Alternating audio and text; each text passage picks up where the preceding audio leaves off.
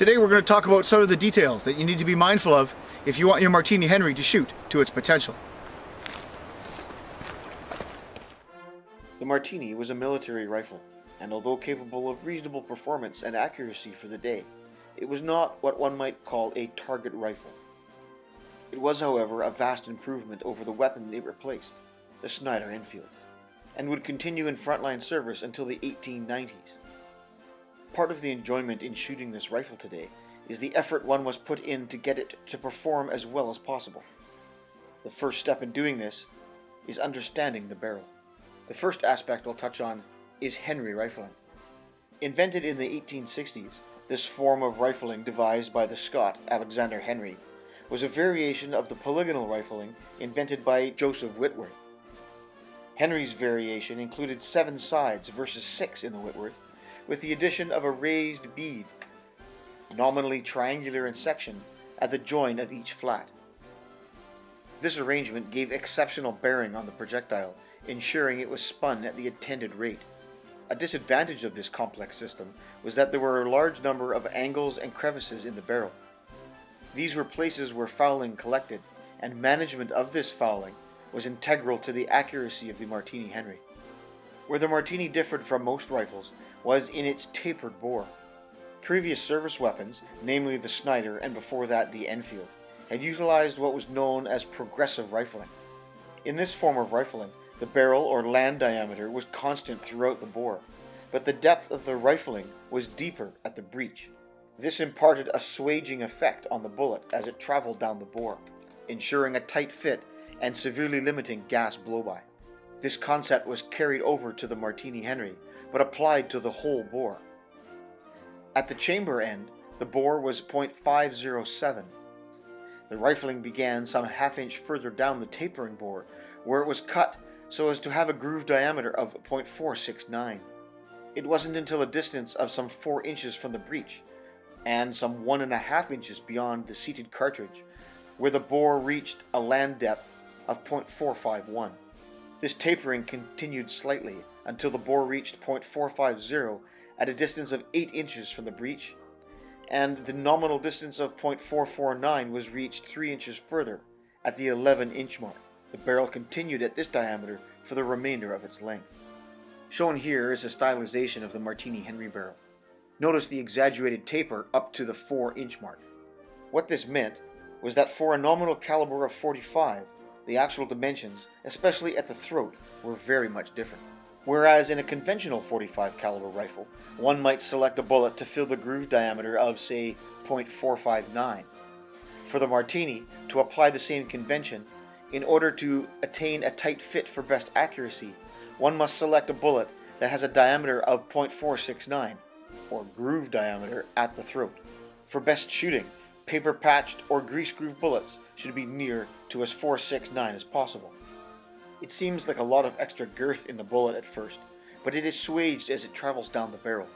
The reasons behind this extreme taper are historical and revolve around ensuring the somewhat sloppy dimensions of the rolled brass case and battlefield dirt and fouling were able to be accommodated. Now that we've established the correct size of bullet to use, we can now move on to fouling management. As mentioned before, the many nooks and crannies of Henry rifling may have imparted an excellent positive effect on the bullet, but they were also prone to accumulate fouling. Keeping this fouling soft so that it wouldn't impinge negatively on the bullet was a goal of any serious shooter in a match setting. As alluded to in some of my other videos, the cartridge proper contained a beeswax wad that was intended to scrub the bore and aid in keeping this fouling under control. All my rounds contain this wad, so we're not going to deal with it specifically as it pertains to tests and experiments regarding fouling management. The most obvious way to manage fouling is the simple swabbing of the bore. This is easier said than done with a martini and rod. Due to the nature of the falling block breech mechanism, there is no straight shot through the breech and down the bore, as there is with a Sharps or rolling block rifle, as an example. This necessitates wiping from the muzzle, and therefore is a bit of an evolution and not possible from a firing position. Although not issued at the time of the Martini Henry, using a pull-through is perhaps an easier way to achieve this. Effective though it is, wiping was typically not allowed in contemporary competitions or annual musketry qualifications. Typically, when working up a rifle, I swab every five rounds, and as we shall see, this could also be substituted by the swabbing after a particular group has been fired. A damp patch, followed by a couple of dry ones, is usually all that is required.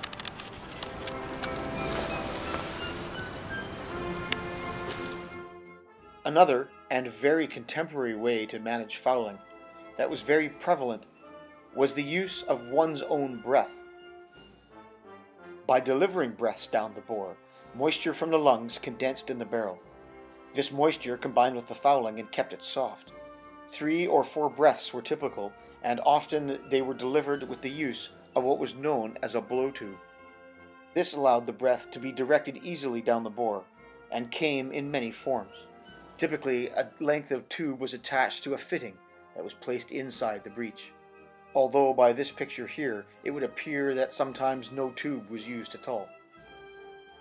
My example is made from two cases, one Martini and one 303.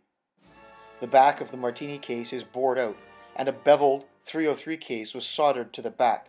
Simple and effective. It is inserted in the breech like a normal round, and ejects the same. Breaths need to be slow so the moisture has time to condense in the bore. It is a relaxing process and serves well as preparation for firing for the next shot. I have found that the rate of fire averages at about one round per minute. Although not used in a contemporary military operational context, it was used on the range and figured prominently in all historical competitions. Any self-respecting regular or volunteer who found himself on Wimbledon Common shooting in competition would have used this technique.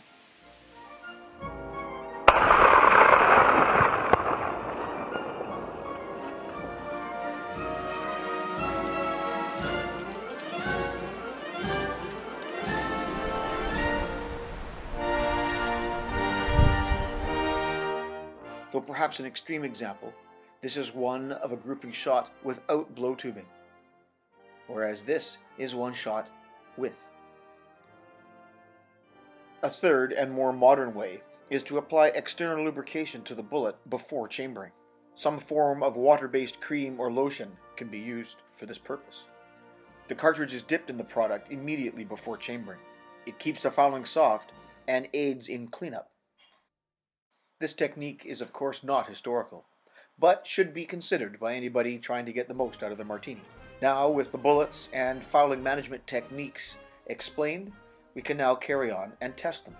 Starting with two warming shots. The practices consisted of 10 round groups, three of which were shot. So the first grouping is going to be 10 rounds uh, at 100 yards with no fouling management other than the lubrication contained within the cartridge. There were in fact 10 rounds shot with this group, but I just selected a few of the ones that looked good on film.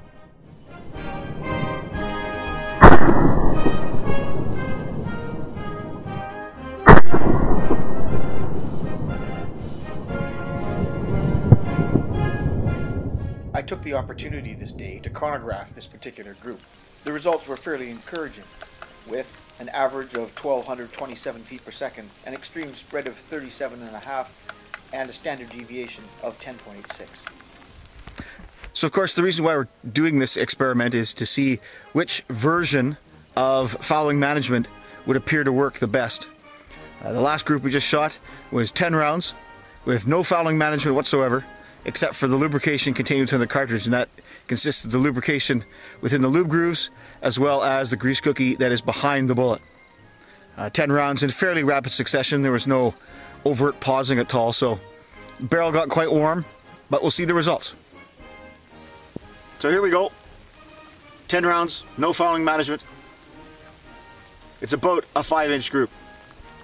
And settled uh, quite nicely onto the black there. Point of aim was right there. So we'll move on to the next experiment, which will be 10 rounds blow tubing with the same cartridge. For the measurement of accuracy and consistency, I used my figure of merit calculator. In order for it to calculate these values, one must measure the x and the y of every bullet hole. To this end, I have pre-prepared sheets that have the necessary blanks ready to fill in. This control group came in at a 6.16 group size with a figure of merit of 1.93. The only wiping that was done with this experiment was in between groups, with a damp patch followed by a couple of dry ones.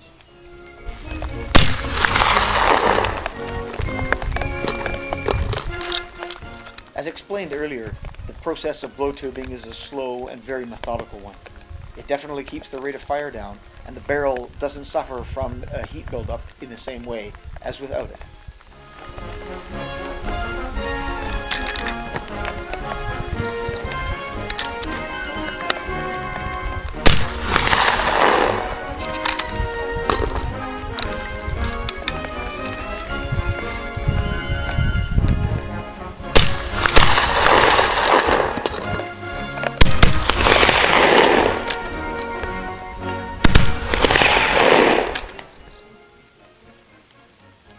10 rounds with blow tubing. The group appears to be a little bit tighter, uh, with the exception of one flyer. Right there. But the main body of the group looks to be about 4 inches or so. And that's an improvement over the 5 inches over here with the non-fouling management. As it turned out, the group, including the flyer, measured about 9.3 inches. Discounting the flyer, however, the group measured about 4.8 inches with a figure of merit of 1.94 inches. For the next group, we're going to use this product called Utterly Smooth. It's a hand cream, and we apply it to the outside of the bullet before chambering. Keeps fouling down.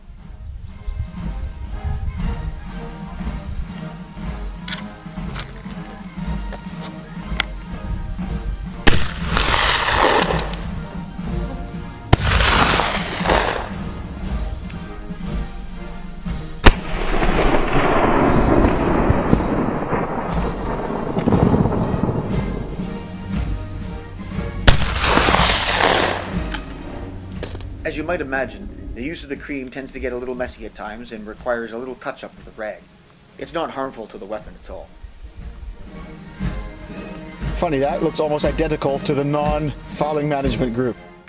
Interestingly enough, with a figure of merit of 2.37 inches, it was actually less consistent than the control group shot at the beginning of the practice. Obviously, one 10 round group does not show exactly how accurate one of these fouling management techniques may be. More shooting is definitely required, and this experiment will be ongoing, hopefully with a bit better effort from the man behind the rifle. Groups of 4 inches are something that I've been able to attain in the past, and the 6 inch standard set today in this practice perhaps isn't as indicative as it might be.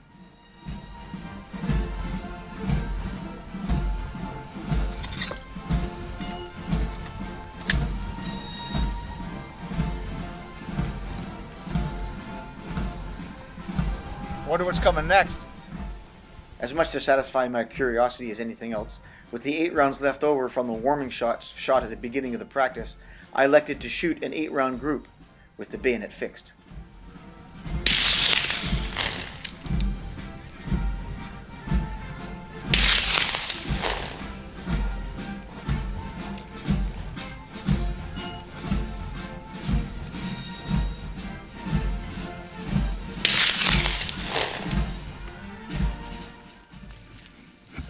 So I'm anticipating that uh, that group would change the uh, point of impact somewhat. I don't know how, but uh, typically with something big and heavy, it fixed the uh, muzzle of your rifle. It's something's going to change. Uh, it might be less accurate. I don't know. Let's have a look. Well, it's not too bad. It definitely changed the point of impact, high and left, but the grouping's not so bad. It's about five inches.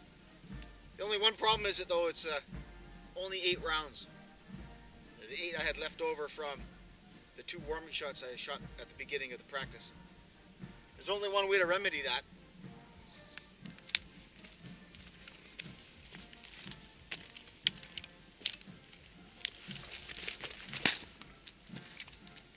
One there.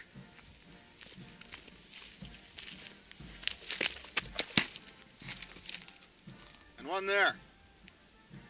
That makes 10. All in all, the practice was rewarding. My shooting wasn't too terribly good. Ordinarily, I'd shoot closer to a 4 inch group with 10 rounds than 6, but the experiments were a good first introduction to different methods of fouling management.